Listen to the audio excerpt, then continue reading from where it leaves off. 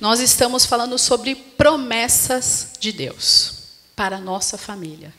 Porque a Bíblia é um livro de promessas.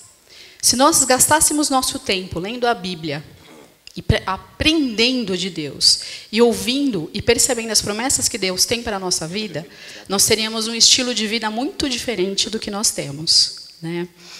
E como nós vimos, nós tivemos uma promessa. Tem como pôr aí a projeção, Ju? Não sei quem aqui coloca. Dá para pôr para gente?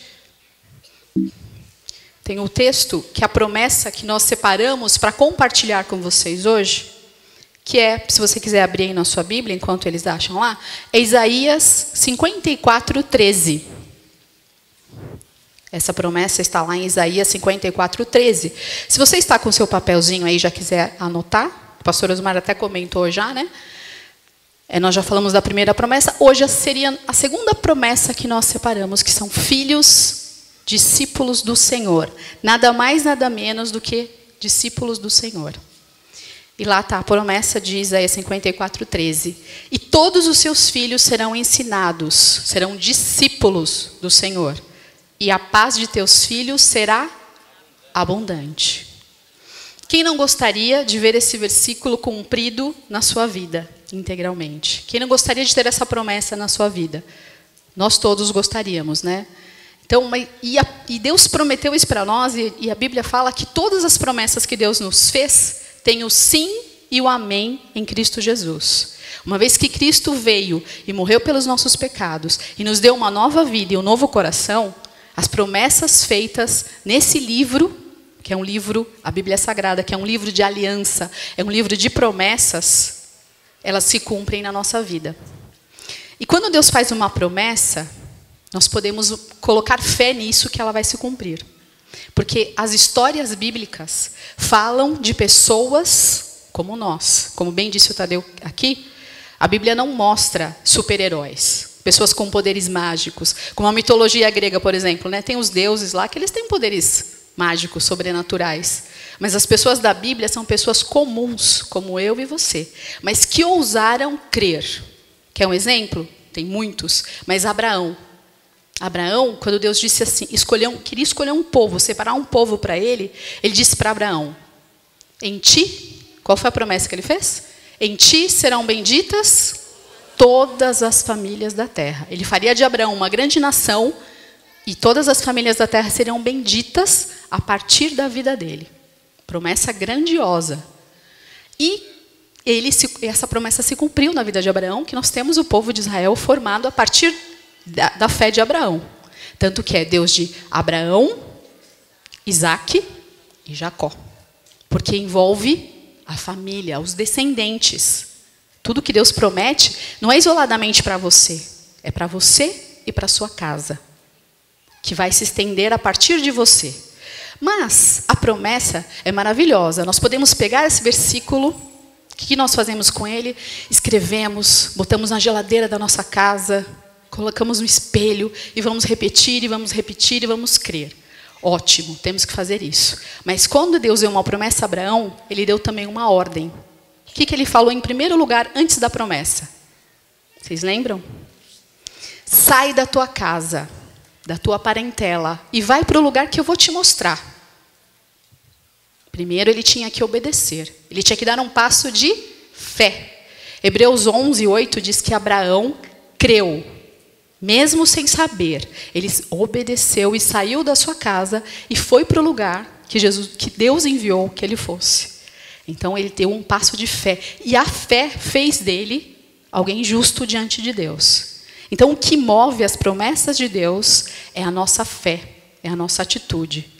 Um filho ensinado do Senhor. O que seria ser discípulo, né, do Senhor?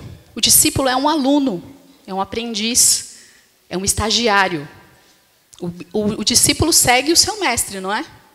Vai atrás dele, aprende dele, ouve, quer entender, quer compreender, se interessa. Então, o que Deus está falando aqui é que os nossos filhos, e a Bíblia fala, bem clara fala que todos os seus filhos, não é um ou outro, são todos os seus filhos, serão ensinados do Senhor, serão discípulos do Senhor. Imagina você ter o Senhor como seu mentor, como seu mestre. E como isso pode acontecer na vida dos nossos filhos? Somente a gente confessando a palavra de Deus? Também. Mas só que nós temos que tomar atitudes práticas. A Bíblia exige exige proatividade. Você precisa fazer algumas coisas, não por merecer, mas por obediência à palavra de Deus e pela fé. Então, quando nós pensamos em filhos, nós pensamos em discipulado, porque o primeiro mestre que o seu filho tem que ter é você mesmo. Antes de ser ensinado do Senhor, aprender a ser discípulo do Senhor, ele precisa ver isso em você. Ele precisa que alguém o ensine a ser discípulo do Senhor. Porque se você não ensinar, eles vão nascer sabendo? A criança naturalmente não, não nasce sabendo, né? Quem tem filho pequeno sabe muito bem disso. Se a gente deixar a própria sorte, eles vão aprender a ser discípulos do Senhor? Não nasce geneticamente determinado, como a tartaruguinha, né? A tartaruga, a mãe bota o ovo, deixa lá e vai embora. Tartaruga sai do, do ovinho dela, o que, que ela faz? Se ninguém impedir dela chegar no mar, ela vai e faz o mesmo percurso que a mãe fez sem ninguém ensinar. Se pudéssemos dizer assim, o bicho homem não é assim. O filhotinho do homem, ele nasce dependente do pai e da mãe. E se nós não ensinarmos a criança no caminho que ela deve andar, ela não vai aprender. Então, em primeiro lugar, eu queria falar com aqueles que não têm filhos.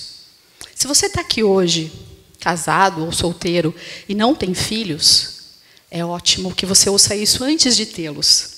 Porque você pode se preparar, você pode investir tempo para aprender pelo menos teoricamente, o que é ser um pai segundo o coração de Deus, o que é ser uma mãe segundo o coração de Deus. Você pode planejar o seu filho de modo que quando ele nasça, você possa ficar perto dele, você possa ter tempo com ele, não simplesmente que alguém cuide dele, porque eu não tenho tempo, eu não me planejei para isso. Né?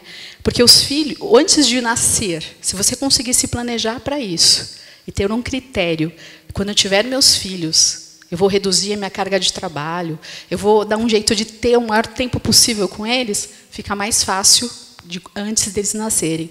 Né? E o melhor investimento para um filho, sabe qual é?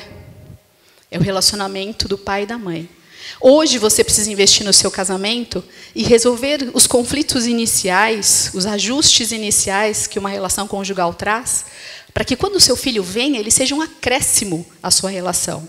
O filho não pode ser aquele que vai dar sentido ao casamento.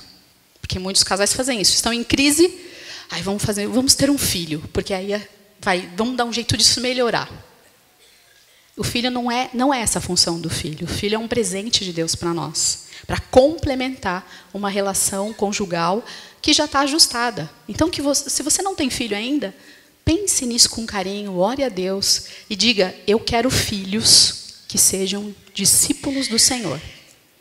Em primeiro lugar, eles serão seus discípulos. E eles vão aprender com vocês. Ele vai aprender com você a como tratar a mãe, como respeitar o pai, como se portar dentro de casa. Então, é melhor que você tenha aprendido isso antes que o filho nasça, porque ele vai copiar seu modelo. Depois, os pais que têm filhos pequenos, que estão aí na primeira infância. Essa é a fase mais importante da vida da criança.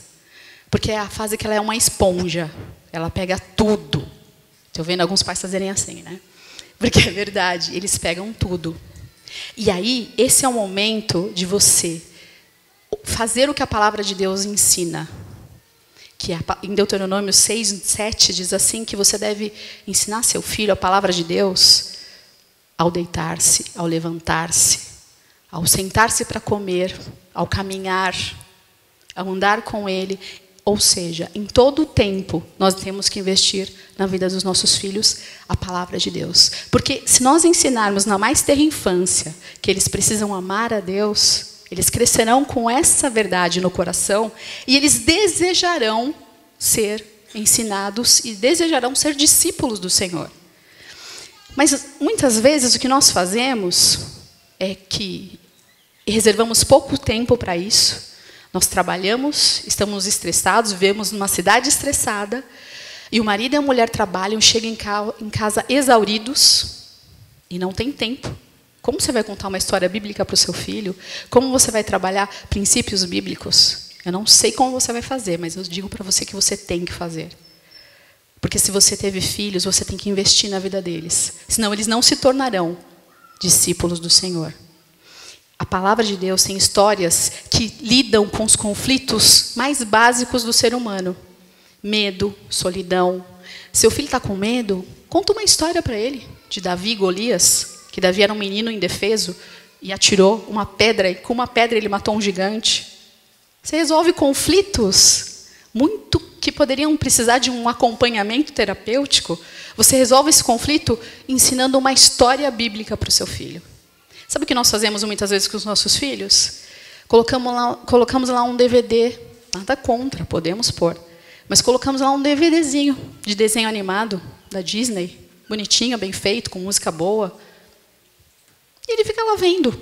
Aí ele não dá trabalho para a gente, que está correndo, tendo que fazer tanta coisa, e ele está lá, ouvindo uma mensagem, sei lá, se boa ou não, mas está lá, entretido. Damos lá o iPad na mão dele para jogar o joguinho, né? E cadê o investimento na vida dessa criança? Cadê a correção? Cadê o diálogo? Onde você diz, filho, não é assim que faz. Porque educar a criança no caminho que ela deve andar dá muito trabalho. Exige de você parar, olhar no olho, conversar, falar não, corrigir, com a vara, muitas vezes, porque tem criança que precisa de limite físico, sim. Não é espancamento, não é violência, mas é correção física, sim. Porque senão ele não internaliza o não. O não precisa ser redondo e grande. E quando você fala não, você tem que manter o não. Por isso que primeiro você precisa ser uma pessoa disciplinada. Porque você não pode dizer para o seu filho assim: Fulaninho, não grita! Como assim, mãe? Não estou entendendo, não estou conseguindo te ouvir. Porque ele já está surdo de tanto que você grita com ele. Não faz sentido. Outro dia eu estava conversando com um garotinho que eu tenho no consultório e ele disse assim: Sabe o que acontece? Eu falava muito palavrão. Em casa, eu e minha mãe, a gente fala palavrão. Meu pai não, meu pai não gosta. E aí, eu combinei com a minha mãe: Não vamos mais falar palavrão. Combinado? Ele falou, ela falou: Tá bom, combinado. Aí ele chegou e falou assim: Sabe o que acontece? Eu parei, mas ela não. Ela não consegue parar de falar palavrão. Quer dizer, como você ensina algo para uma criança que você mesmo não faz? Como ela vai aprender a orar se você, ela não estiver orando nunca? Como ela vai gostar de ler a Bíblia, das histórias bíblicas, da devocional que devemos fazer, se ela não vê nunca você fazendo? Uma, uma das lembranças que eu tenho guardadas da minha infância que o meu avô era uma pessoa que ele gostava muito de ler a Bíblia. Ele era um pedreiro, cansado, trabalhava muito. Ele chegava em casa, ele tomava o banho dele, jantava.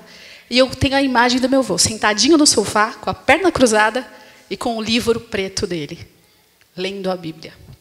E ele gostava de perguntar, fazer, tipo, desafios bíblicos. Você sabe quem foi o pai de Davi? Você sabe quem foi? Não sei o quê. E ele gostava disso, mas ele inspirava isso, porque ele gostava de ler a Bíblia. Ele amava a Deus, ele gastava o tempo dele. Não tinha nem televisão na casa dele, para vocês terem uma ideia, porque ele sentava e ele lia a Bíblia.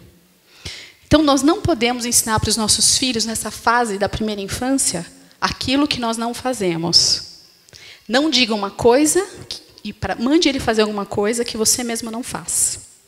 Isso é incoerente e vai gerar infidelidade no coração dele. Se meu pai não faz, meu pai fala e não faz, por que, que eu tenho que fazer? Se minha mãe fala e não faz, ela não cumpre o que ela fala, por que, que eu vou ter que cumprir? Então, esse é um, um ponto muito importante. Ensine a criança no caminho que ela deve andar. Ensine a palavra. Fale das histórias bíblicas para o seu filho. Lá em casa, quando os meus filhos eram pequenos, nós tínhamos, até perguntei para eles onde estava esses dias, uma Bíblia chamada Bíblia Passo a Passo. Tem muita coisa boa hoje, né? De ilustra Bíblias ilustradas com personagens. E a Bíblia Passo a Passo ela é uma Bíblia que ela fala cronologicamente as histórias bíblicas e contextualiza com o que estava acontecendo no mundo naquele período onde ocorreu a história. A descoberta do aço, várias coisas que vão, vão fazendo uma correlação na linha do tempo dos principais acontecimentos históricos do mundo, né? da civilização humana. Então, é gostoso demais você incutir isso no seu filho, ensinar isso para ele. Fazer dele um discípulo, em primeiro lugar, seu discípulo. Meu filho, meu discípulo. Porque daí você aponta o, aponta o caminho. Ou você vai facilitar que ele seja discípulo do Senhor, ou você vai prejudicar. Dependendo da sua postura, você não consegue mostrar que ele é prazeroso, é importante ele ser discípulo do Senhor.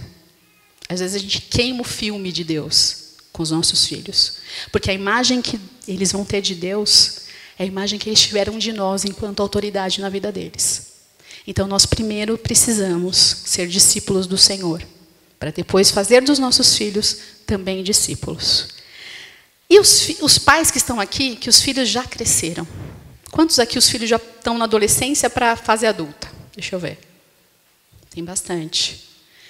Aí você fala, filho criado, pessoal aí fala, filho criado, trabalho dobrado. Né? Porque aí já internalizou, se você fez direitinho, glória a Deus. Se você pisou muito na bola ou não sabia, não ensinou, não, sabe, não tinha esse conhecimento, não sabia da palavra de Deus, ou então foi negligente mesmo, e agora seu filho cresceu. Então agora a gente precisa contar com a misericórdia de Deus. Porque se seu filho já cresceu, já está mais difícil de você incutir e você motivá-lo a ser discípulo do Senhor. Mas não está tarde, não está perdido. Em primeira instância, muitas vezes, nós como pais, precisamos pedir perdão para os nossos filhos.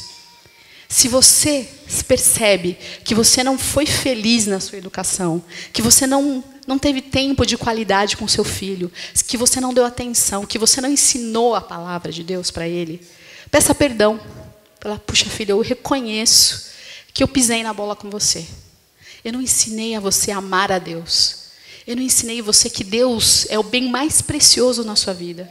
Eu não disse para você, eu não levei você antes da adolescência, de preferência, a ter um novo coração, a confessar Jesus Cristo como seu Senhor e Salvador, para que você possa a cada dia mais crescer no conhecimento da graça de Deus. Eu não fiz isso no tempo que eu devia ter feito. E hoje, eu sei que eu perdi muito tempo com você, mas eu não quero perder mais tempo. Eu quero orar por você. Eu quero abençoar você. Você me perdoa dos anos da minha ignorância? Peça perdão para o seu filho, porque pai pode pedir perdão para o filho. O pai pode chegar e falar: Eu reconheço que eu falhei, filho. Você me perdoa? É muito digno pedir perdão. Só pede perdão a pessoa que experimentou o amor e o perdão de Deus no coração. Então, se você percebe que você fez isso, corre atrás do prejuízo. Corre atrás do prejuízo. Peça perdão interceda pelo seu filho. É, o projeto das mulheres intercessoras da pastora Sueli é fantástico. Nós temos que orar pelos nossos filhos, pela nossa nação, pelo nosso país. Não só as mulheres devem ser intercessoras, mas os homens. A semana passada eu achei interessante o pastor chamar os homens, né, para orar, porque realmente a responsabilidade é do homem maior, porque o homem é o profeta, o sacerdote e o líder da sua casa.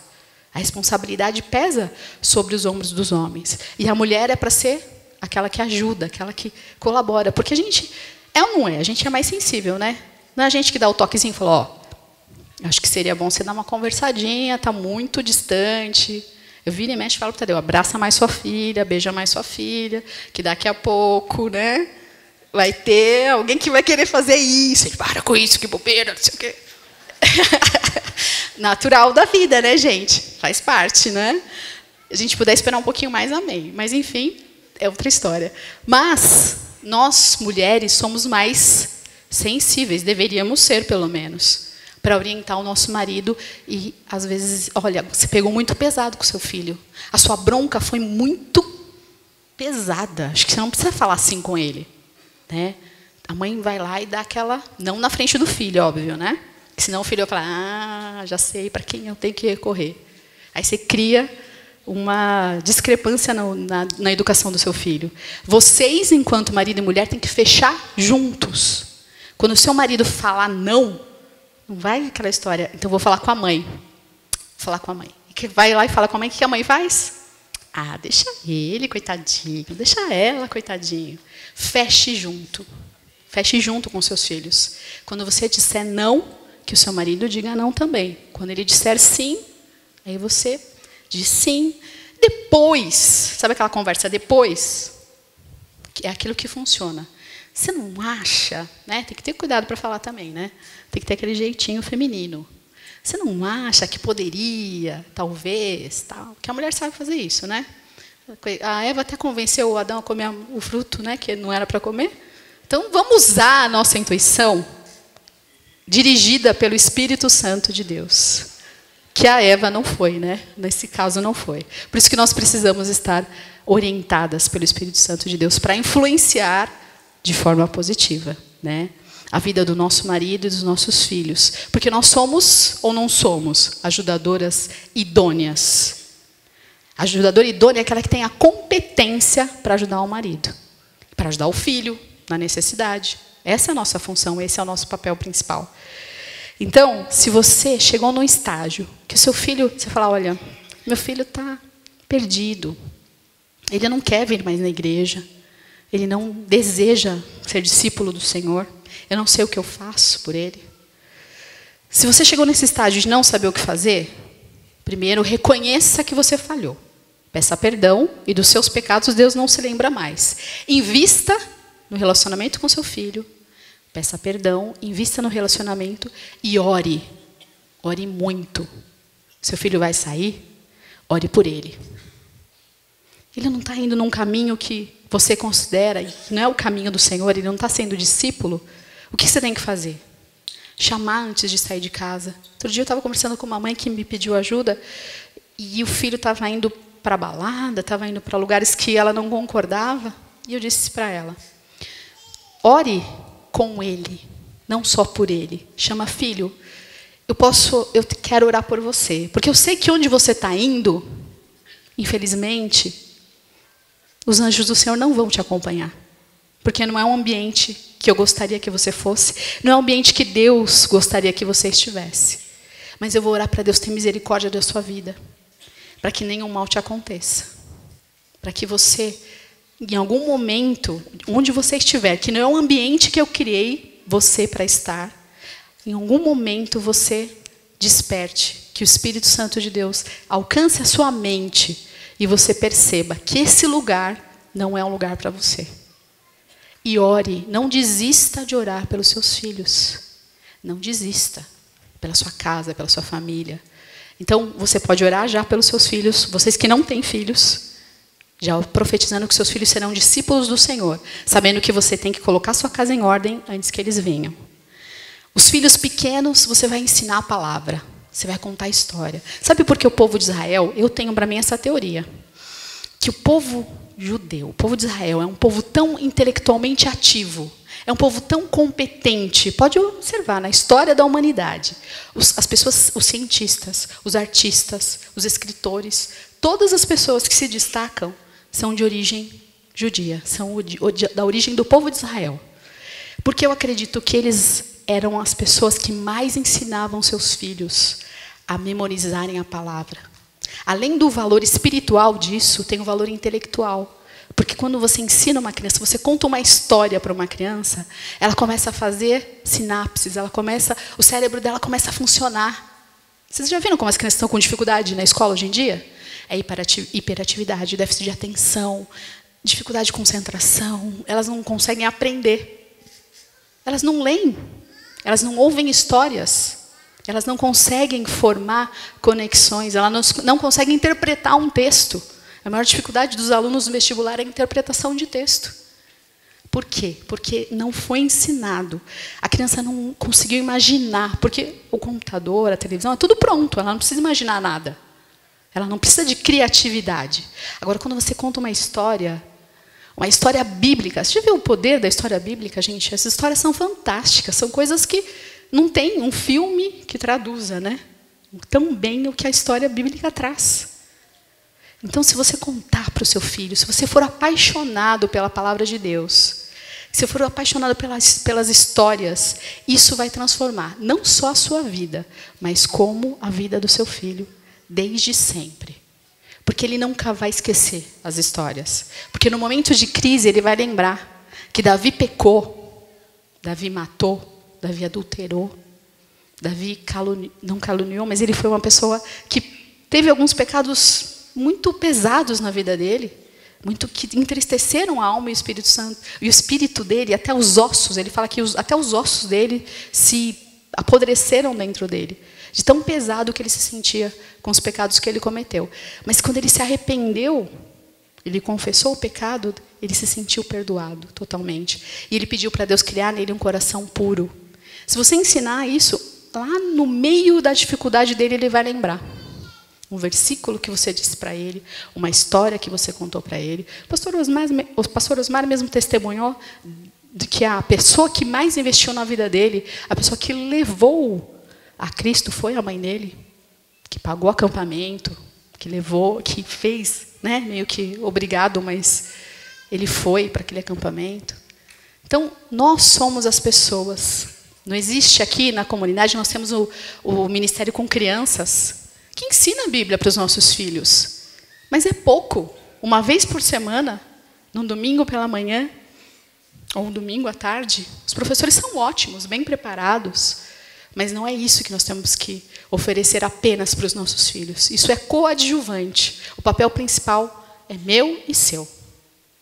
Não é o papel da igreja. Os líderes os juniores fazem o melhor que eles podem pelos nossos filhos, mas o papel principal não é deles. O líder dos adolescentes fazem o melhor, dos jovens de igual forma, mas o papel principal é meu e seu. Porque os filhos são seus discípulos em primeiro lugar, para que você ensine-os a serem discípulos do Senhor. E grande será a paz dos seus filhos. A paz será abundante, porque um filho que é discípulo do Senhor, ele aprende diretamente de Deus. Que dificuldade esse filho vai ter? Vai ter paz. Né? Então, isso é o que Deus reserva para nós. E os nossos filhos serão bem ajustados.